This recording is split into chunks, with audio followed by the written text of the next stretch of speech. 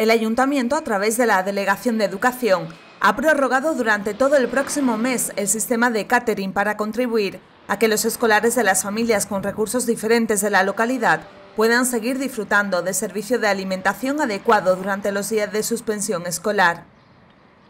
Con ese servicio, el gobierno local compensa la situación en que quedan algunos menores de familias en riesgo de exclusión social con motivo de las medidas extraordinarias tomadas como consecuencia del COVID-19 y entre ellas la suspensión de la actividad docente presencial, lo cual conlleva también el cierre de comedores escolares donde esos menores eran atendidos.